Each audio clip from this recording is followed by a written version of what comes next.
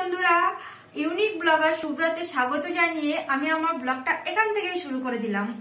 আর already একবার চা খাওয়া হয়ে গেছে ভাত রান্না হয়ে গেছে কাজকর্ম সমস্ত কিছু কমপ্লিট হয়ে গেছে আজ একটু সকাল সকাল উঠে পড়েছি। আর দেখো আর এক রাউন্ডের চাটা বসানো রয়েছে। এই যে? চাটা ফুটে উঠলেই উঠলেই নামিয়ে নেওয়ার পালা। আর ওদিকে দুধ জাল করতে বসানো রয়েছে। আর দেখো এই কদিনের কতটা দুধ জমেছে? এই যে তিন বোতল দুধ জমেছে। তো এইগুলো আস্তে আস্তে জ্বালিয়ে নিন কেননা একটু এদিক ওদিক কাজকর্ম বেশি পড়ে গেলে আর সমস্ত দিকে ম্যানেজ করতে পারি না আমরা, যার জন্য এরকম অবস্থা হয়। তো আর এখন আমি যাচ্ছি স্নান করতে, স্নানটা করে আসি, করে চা নিয়ে আবার তোমাদের সঙ্গে গল্প করতে চলে আসব। তো আমি স্নান করে একদম পুরো কমপ্লিট হয়ে চলে এসেছি, সাজুগুজু করে নিয়েছি একটু। আর এদিকে দেখো, কড়া বসিয়ে দিয়েছি। আর এদিকে আমার চাটা আবার একটু গরম করে নিচ্ছি। একটু দেরি হয়ে গেছে বেরোতে। আর আলু আর গাজর কেটে নিয়েছি। এবার সয়াবিন দিয়ে আলু দিয়ে গাজর দিয়ে রান্নাটা করে নিই। আর সঙ্গে চাটাও খেয়ে নিই। তো চলো, চাটা আগে খেয়ে নিই, তারপরে আবার আসি।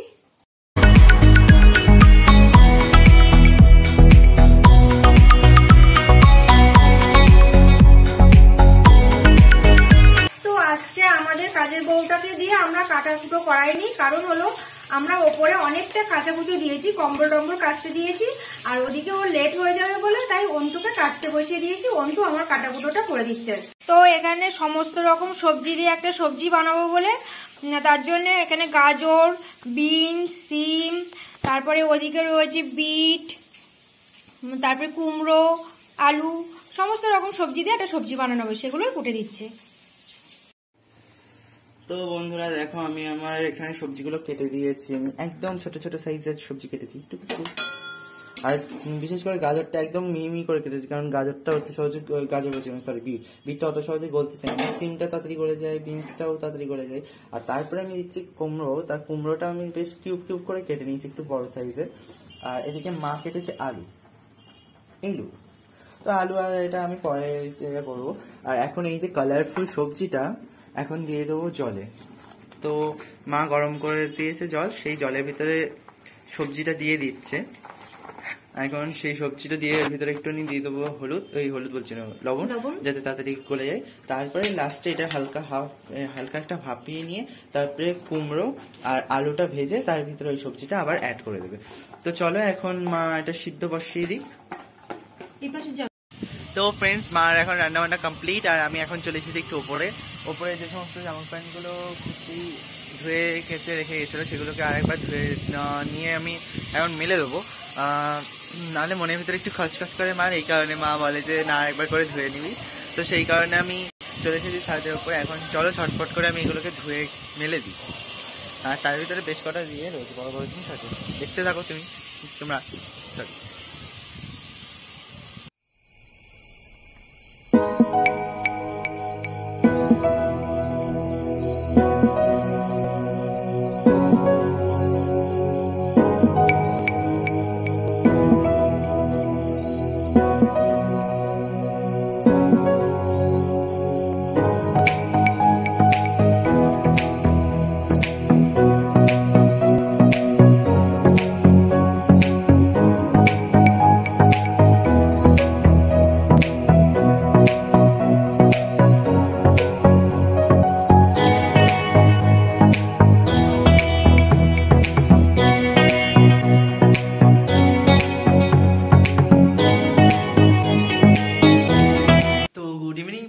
আমি আর মা এখন খাচ্ছি সন্ধ্যাবেলা চা। অ্যাকচুয়ালি আমাদের এর আগে একবার চা খাওয়া হয়ে গেছে। আর ওই দেখো মা টাটা মানে হাই বলছে। টাটা না ওটা হাই আর মা আর আমি একটুখানি শর্টের জন্য প্রিপারেশন নিয়েছিলাম। কিন্তু আমার একটা কাজ এসে যাওয়াতে আমি দোকানে একটু গোছান গাছান করতে হয়েছিল বাবা ডেকেছিল।